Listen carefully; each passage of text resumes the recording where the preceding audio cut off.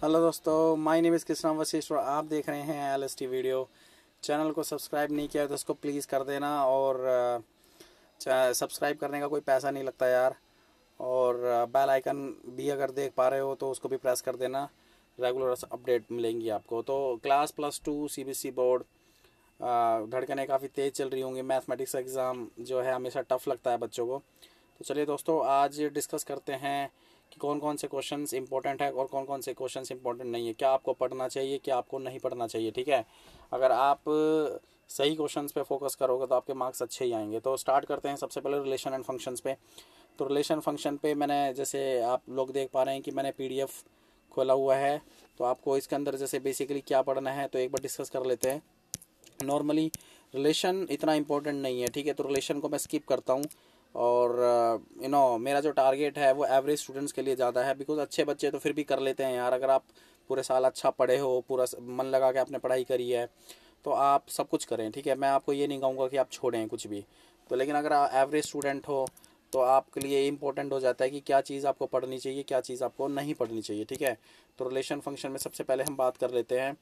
Uh, जैसे कुछ functions हैं आपके वन वन फ़ंक्शन है आपका, ठीक है? मैनी वन फ़ंक्शन है तो इनके ऊपर क्वेश्चन आ सकते हैं। क्वेश्चन मैं बता देता हूँ, जैसे फॉर एग्ज़ाम्पल आप एग्ज़ाम्पल नंबर एट को अच्छे तरीके से करके चलना, ठीक है? उसके बाद सॉरी आज मेरा थोड़ा गला ख़राब है। उसके बाद हम डिस्कस करते हैं, जैसे फॉर एग्ज़ाम्पल जैसे ये क्वेश्चन पर मैंने निशान लगाया हुआ है। Question number two exercise one point two ठीक है? देख पा रहे हैं आप अच्छे तरीके से? तो इन चीज़ों को आप क्लियर करके चल सकते हैं। और नॉर्मली जैसे इन क्वेश्चन पे भी मैंने निशान लगाए हैं जैसे फॉर एग्जांपल ये वाला क्वेश्चन हो गए। क्वेश्चन नंबर फाइव ठीक है? क्वेश्चन नंबर फाइव इंपॉर्टेंट है आपका। एंड क्वेश्चन नंबर आपका जो है नाइन टेन इम्पोर्टेंट क्वेश्चन है ये। तो फ़ंक्शन में बेसिकली ये है। और फ़ंक्शन में मैं आपको एक चीज़ और बताता हूँ। जैसे फॉर एग्जांपल इन्वर्टिबल फ़ंक्शन तो इन्वर्टिबल फ़ंक्शन के ऊपर क्वेश्चन ज़रूर आता है पेपर में। जैसे कि एफ़ ओ जी और जी ओ एफ़ एग्ज़ाम्पल भी मैं आपको दिखा देता हूँ। जैसे फॉर एग्ज़ाम्पल ये आप देख पा रहे हो ये एग्ज़ाम्पल नंबर है इसके अंदर सेवनटीन ठीक है? जैसे Y is equal to F X होता है। तो एक्स इज़ इक्वल टू क्या हो गया? वाई एफ़ इनवर्स वाई तो इस तरीके से निकलवा लेता है एफ़ ओ जी निकलवा सकता है जी ओ एफ़ तो जनरली ऐसे कुछ प्रॉब्लम नहीं है, इसके अंदर भी क्वेश्चन यू नो ईजी आते हैं। और बस थोड़ा सा आपको देखना पड़ेगा। नेक्स्ट अगर हम डिस्कस करें, जैसे एग्ज़ाम्पल नंबर ये ट्वेंटी फाइव आप देख पा रहे हो, इस तरीके के क्वेश्चन एग्ज़ाम में ज़रूर आते हैं। तो एग्जाम्पल्स आप करके ही चले। जैसे ये मैंने निशान लगाया आपका, ठीक है? एग्जाम्पल्स आपको करके जाने हैं सारे के सारे। और बस जैसे एक्सरसाइज आपकी ये है 1.3 तो 1.3 के अंदर आपका नाइन्थ क्वेश्चन हो गया, इस तरीके से पेपर में जाते हैं। उसके बाद टाइम वेस्ट नहीं करते हैं, आगे बढ़ते हैं बाइंड्री ऑपरेशन बाइंड्री ऑपरेशन में बेसिकली मैं आपको फटाफट बता देता हूँ कि क्या आपको पढ़ना है उसके अंदर से। अगर आप पढ़ रहे हो, तैयारी आपकी अच्छी चल रही होगी तो जैसे इन क्वेश्चन पे मैंने निशान लगाए हैं fifth six seventh eighth ninth आप देख रहे हो ना, आपको दिख रहे हैं इन पे? तो ऐसे क्वेश्चन पेपर में आते हैं और बाइंड्री ऑपरेशन भी बड़ा सिंपल है। आइडेंटिटी एलिमेंट इनवर्स एलिमेंट उसके अंदर निकालना होता है, बड़े आराम से निकल जाता है, ऐसी कोई प्रॉब्लम नहीं है, ठीक है? तो फटाफट हम नेक्स्ट करते हैं। अब नेक्स्ट जो है आपका नेक्स्ट पीडीएफ में खोल लेता हूँ। नेक्स्ट है आपका इन्वर्सिनोमेट्री तो इन्वर्सिनोमेट्री में एक बार देख लेते हैं। आ, ये 2.1 स्किप कर देना। आ, ऐसे जनरली पेपर में नहीं आती है।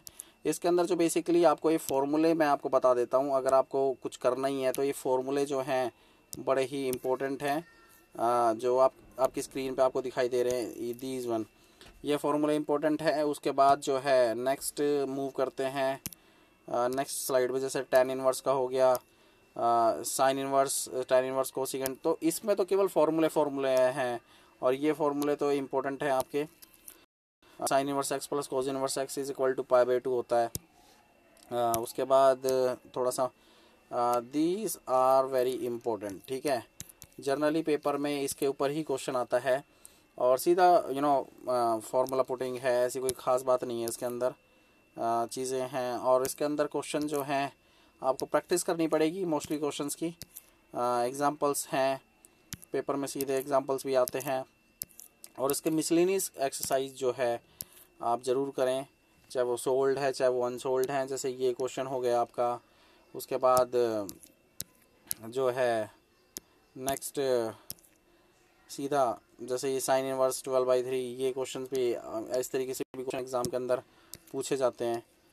ठीक है तो साथ में जैसे ऐसे क्वेश्चंस भी एग्ज़ाम में आते हैं। These questions very very important हैं आपके। और बस आप करें, तैयारी काफ़ी अच्छी करें। ऐसी कोई बात नहीं है कि एग्ज़ाम हमेशा यू नो ईजी आता है। ऐसे कोई प्रॉब्लम नहीं है कि एग्ज़ाम डिफ़िकल्ट आता है। तो इन क्वेश्चन के बारे में आप स्टडी कर सकते हैं। ठीक है?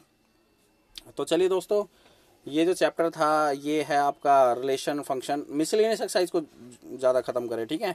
और बस नेक्स्ट वीडियो में अपलोड करूँगा नेक्स्ट चैप्टर्स की which is matrix and determinant तब तक के लिए जय हिंद, जय भारत, और मेरे चैनल को सब्सक्राइब कर दें प्लीज़ मैं आपके लिए ऐसी वीडियो लाता रहूँगा। धन्यवाद।